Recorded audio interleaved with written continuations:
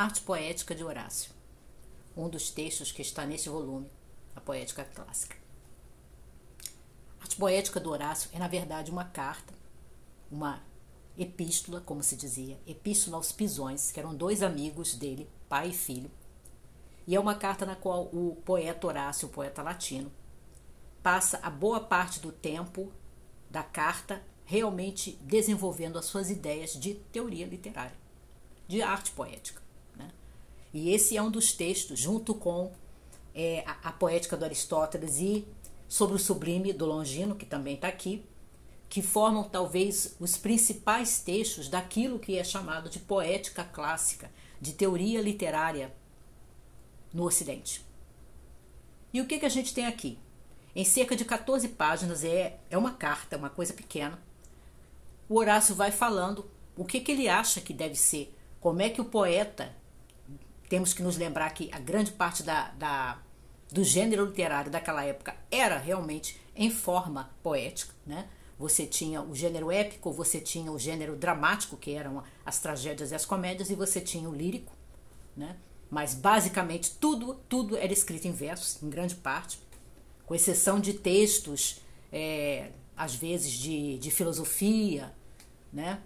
ou alguns ensaios que às vezes já são escritos como, como prosa mesmo, mas grande parte da produção que a gente entende como arte de literatura era em forma de, de poesia nessa época. Outra coisa, as poesias eram declamadas para os seus públicos.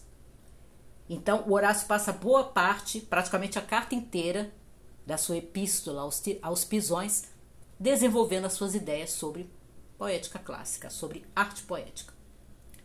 E aí, a gente tem algumas coisas de bom senso e outras que talvez sejam uma surpresa para alguns leitores. Os bons sensos você encontra, por exemplo, quando ele coloca que o poeta, o artista da palavra, ele deve conhecer bem o gênero ao qual ele está se dedicando. Parece uma coisa simples, mas quando ele dá os exemplos de é, alguns artistas, alguns poetas que não fazem isso, você entende e às vezes soa até engraçado, né? Quando às vezes o poeta está, por exemplo, declamando um texto, né, uma poesia dele que tem que ser altamente dramática, porque ele está apresentando aquilo como poesia dramática, como algo é, triste ou, ou realmente muito sério, trágico, pesado. E aí o tom é o errado, e aí o, o Horácio até diz: você vai me fazer ou dormir ou rir da sua cara. Né? Ele coloca isso. Não nos esqueçamos: poesia nessa época frequentemente era declamada e os textos dramáticos eram encenados. Aí ele fala isso do, do artista ter que conhecer muito bem o gênero ao qual ele está se dedicando. Ele fala que mesmo que você tenha talento, ele aqui usa até a palavra gênio, você tem que desenvolver isso. Você não pode depender do fato de que você tem o dom para escrever.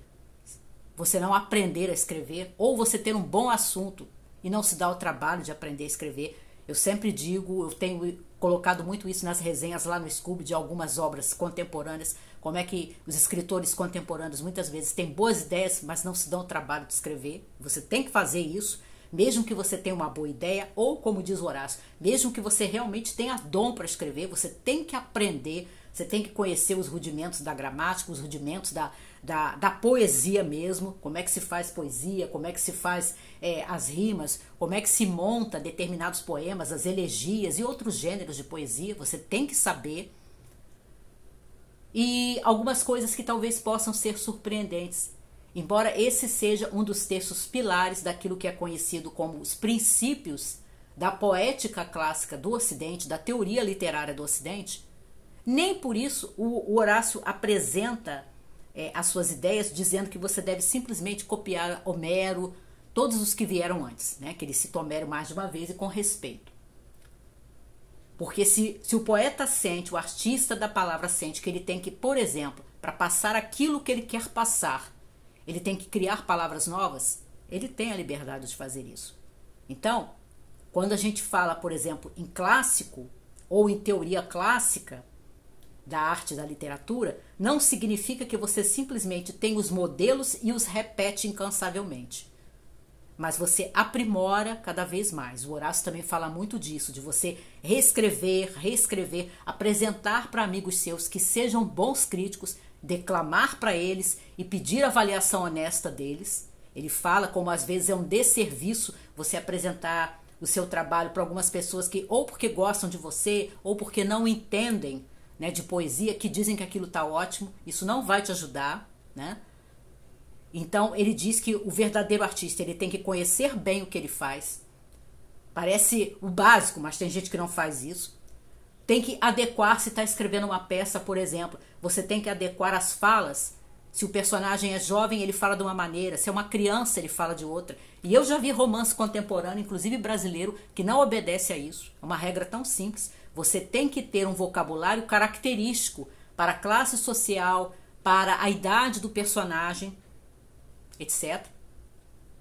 E ele fala dessa liberdade. Depende do que você quer transmitir. Se você quer transmitir algo que você sente que só uma nova palavra, uma nova expressão pode dar conta, você tem a liberdade de fazer isso. Por último, que é uma, uma colocação do Horácio muito conhecida, ele diz que a arte deve ou entreter, né, ou divertir, ou instruir. Mas se ela fizer as duas coisas, melhor ainda.